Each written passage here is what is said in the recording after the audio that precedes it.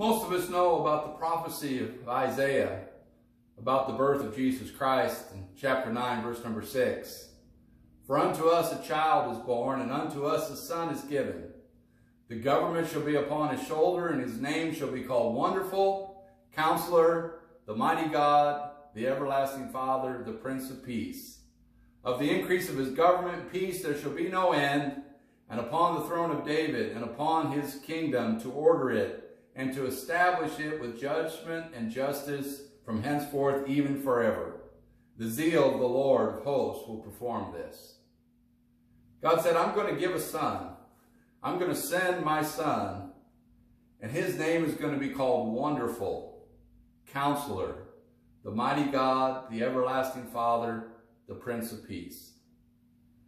You know, God understands us and he knows what we need.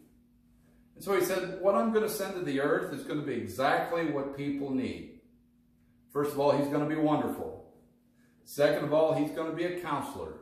He's going to be able to lead them and guide them, to help them to go from where they are and to solve some problems and give them the information they need to get to where I want them to be. He's going to be the mighty God. Jesus is not just, just a person that was here on the earth, but he truly is the mighty God. He came in the name of his Father. He, we understand that it was a it was a position that needed to be done so that he could sacrifice, be sacrificed on Calvary, so our sins could be forgiven and the law would be fulfilled. And he is the mighty God. He is also the everlasting Father because there's only one God. And when you looked at Jesus back then when he walked on the earth, you didn't see all of God. You saw the fullness of God, but not all of him, because God was still everywhere. He fills all time and all space. He is everywhere, and he's all powerful. And so Jesus, as he came, was the mighty God, and he was the everlasting Father. And then finally, the Prince of Peace. God knows where you're at. He sees what's going on, and God wants you to have peace. And so as Isaiah penned the words that God had given him about the coming Messiah, he said, when you call the name, when you call the name of Jesus, you're going to get wonderful counselor, the mighty God, the everlasting Father, and the Prince of Peace all wrapped up into one. So I, I adjure you, call him a name. Do everything in the name of Jesus. We're baptized in his name. We walk in his name.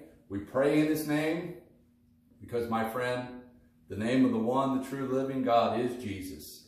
And I'm so thankful that he wrapped himself in flesh and he came as a baby.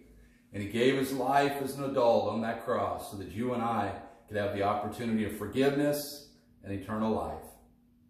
So call on the name of Jesus often. Call on him and allow Jesus to come into your life. Allow the Lord to be everything that's in his name because he really is everything that you need. God bless you. Have a great day. Share these with others. And we'll see you on the next Daily Devotional.